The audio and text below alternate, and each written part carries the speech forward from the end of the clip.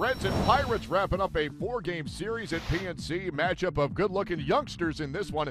Tony Cingrani for the Reds and Brandon Cumpton for the Pirates, making his 2014 debut. Pick this one up in the bottom of the first. Pirates have a threat. First and second, two men away for Pedro Alvarez as he sends this one to the right side. It eats up Brandon Phillips.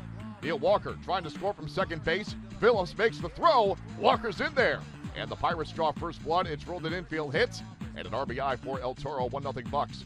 Bottom two, man two down for Starling Marte. He sends it towards right center. Chris Heisey comes on to make the nice diving catch. Another look at this one. Heisey gets a good jump, and he comes right out of the ketchup bottle. Well done. Let's go bottom three. Some more trouble for Cingrani as he faces El Toro once again, this time first and second. One away. Alvarez goes down. Pirates would not score. Bottom four, Brandon Cumpton goes down on strikes. Then bottom five, Andrew McCutchen, the line shot snagged by Todd Frazier. Some good D and back of Cingrani on Thursday.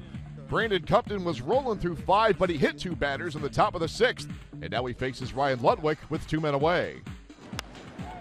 Hit hard toward left center field. That ball's going to get down. That'll get by McCutchen and go to the wall. Votto will score. Frazier will score. What a big, big clutch double right there for Ryan Ludwick.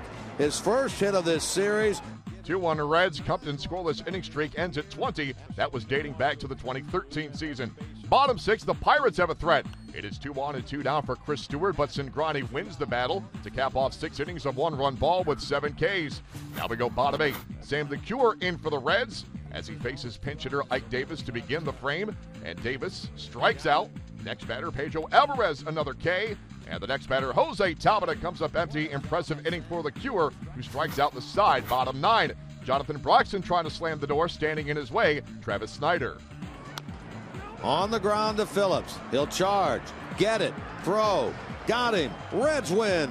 Two to one is your final on Thursday as Cincy takes three of four in the series after dropping the opening game.